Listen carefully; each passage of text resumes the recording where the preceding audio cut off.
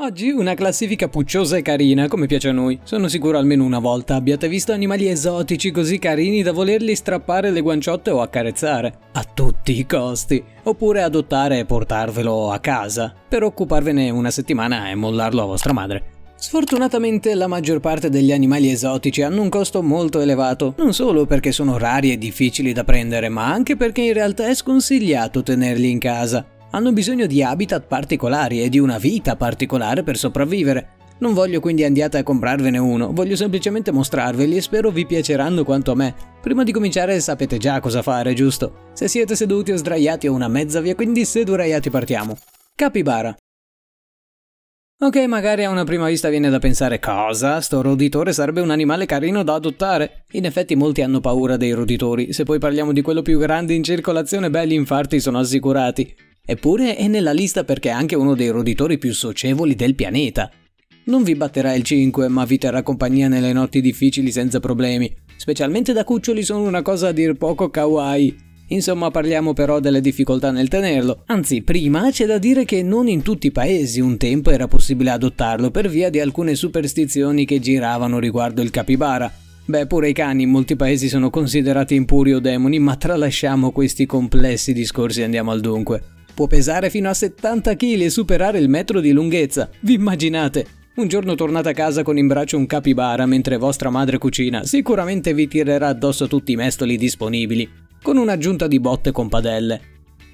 È chiamato anche maiale d'acqua perché appunto ha bisogno anche di una zona molto acquatica in cui vivere oltre che della terra.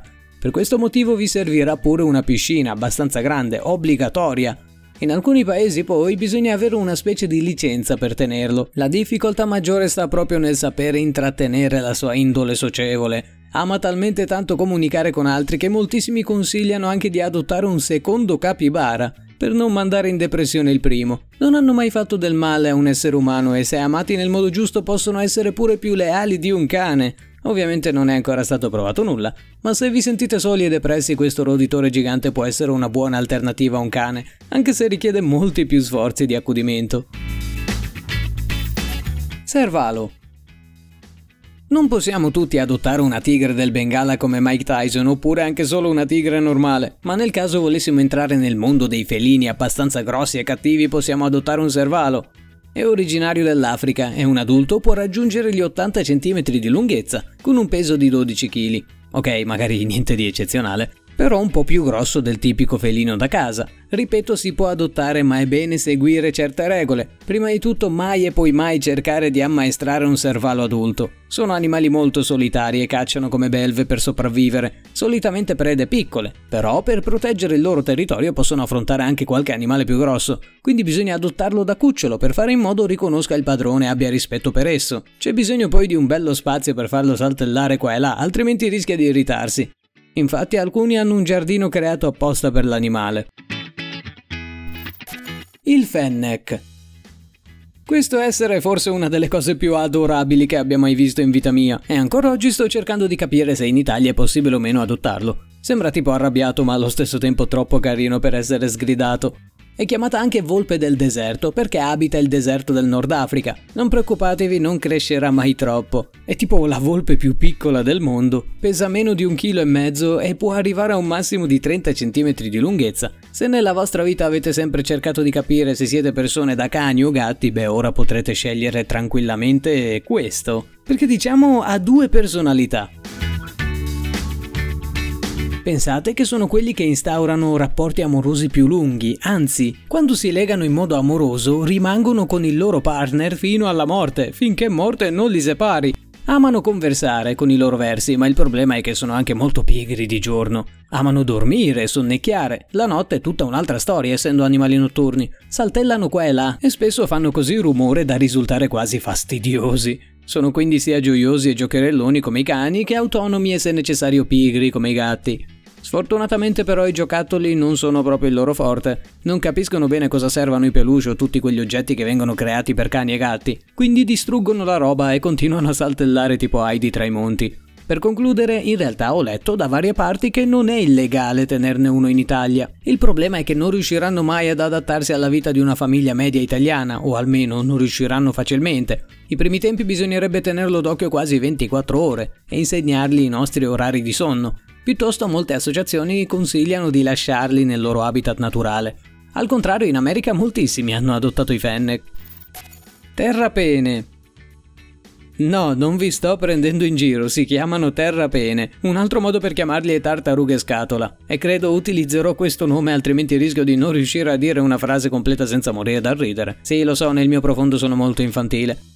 Comunque sia, sono tartarughe che vivono nella parte orientale degli Stati Uniti e in Messico. Sono tra le tartarughe più richieste dagli amanti degli animali. Possono vivere fino a 50 anni, non poco. E quindi possono diventare anche amici per la vita. Nonostante gli piaccia bagnarsi i piedi nell'acqua, sono in realtà tartarughe da terra, quindi mi raccomando che non vi salti in testa di creare un habitat con un lago profondo. Cincilla. Passiamo da un roditore all'altro alla velocità della luce. A molti non piacciono i roditori e i rettili, eppure a me non dispiacerebbe avere un cincilla pafutello che cammina in modo buffo per la casa. Sono originari precisamente del Sud America Venivano cacciati per la pelle un tempo. Fortunatamente non succede quasi più questa cosa, ma ora vengono catturati specialmente per essere ingabbiati a casa di qualcuno. Si annoiano anche facilmente e devono avere sempre nuovi stimoli, addirittura è consigliabile allontanarli dai gatti domestici. Non si sa benissimo perché, ma i gatti si spaventano facilmente alla vista di un cincilla energico e con rabbia repressa. Quando si annoiano comunque se ne vanno nella gabbia, ma quando sono in piena attività cerebrale è consigliato liberarli, altrimenti potrebbero fare un macello, delle vere pesti. Petauro dello zucchero. È detto anche scoiattolo volante, ma è abbastanza sbagliato. È sicuramente adorabile e ha dalla sua parte una planata fantastica. Infatti, grazie alla membrana collegata agli arti, può fare salti lunghissimi.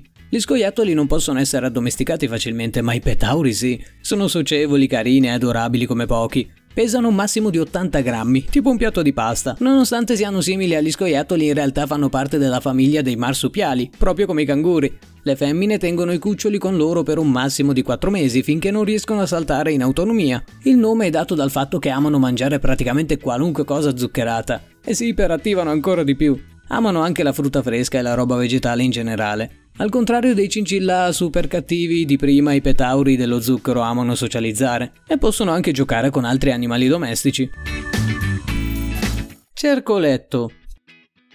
Non è il nome di un annuncio che ho scritto su subito.it, ma proprio il nome di un animale. Cavolo, dopo terrapene mi aspetto veramente di tutto. Fa parte della famiglia dei procioni ed è abbastanza piccolo, con una lunghezza massima di 100 cm e un peso di 5 kg per adulto. In realtà dalle foto mi sembrava minuscolo per via della carineria assurda. È un animale da foresta pluviale ed è notturno. Caccia grazie ai suoi affilati artigli ed è meglio non provocarlo. Però c'è un discorso molto complesso da fare sull'adozione. In realtà ad oggi è proibito. Non si sa benissimo se sia in pericolo di estinzione o meno, perché viene avvistato poche volte dai ricercatori. Più che altro la paura è che possa ferire, oppure essere venduto al mercato nero in altri paesi danneggiando altri ecosistemi. È molto molto attivo, a volte lotta contro il suo stesso padrone se è irritato e ha avuto magari una giornata storta. Alcune celebrità come Paris Hilton ne possiedono uno, ma ripeto è sconsigliatissimo provare ad adottare un cercoletto anche perché la maggior parte di questi animali sono appunto venduti al mercato nero e quindi in tanti acquistano illegalmente, senza alcuna certezza. Wistiti pigmeo Avreste mai pensato che esistesse una scimmia così piccola da aggrapparsi al vostro dito? In età adulta questi animali possono raggiungere un massimo di 15 cm di lunghezza e 100 grammi di peso rischiate di schiacciarli se dormite insieme. Sembra quasi una cosa photoshoppata, ma questo animale esiste davvero. Il pelo è denso e morbido, quindi anche coccolarlo darà una sensazione senza pari. Si muovono per lo più in gruppo. Nella comunità tutti si aiutano a vicenda e sono i maschi ad occuparsi dei bambini, mentre la madre si occupa solo dell'allattamento. In cattività possono vivere fino a 15 anni, in realtà nella maggior parte del mondo sono illegali da tenere. Un tempo il commercio legale era fiorente, ma poi i soliti furbetti hanno cominciato a venderli a caso alle famiglie senza controllo e quindi portandoli alla morte. Per preservare la specie si sconsiglia assolutamente di adottarlo. Sono chiamati anche scimmie da dito perché adorano aggrapparsi alle dita degli esseri umani e spesso ci dormono pure. E i primi tempi sono tranquillamente più piccoli del vostro dito. E con questo concludiamo, se volete altre classifiche animalesche lasciate un bel like. Noi ci sentiamo alla prossima gente, stesso posto, stessa voce, orario diversissimo.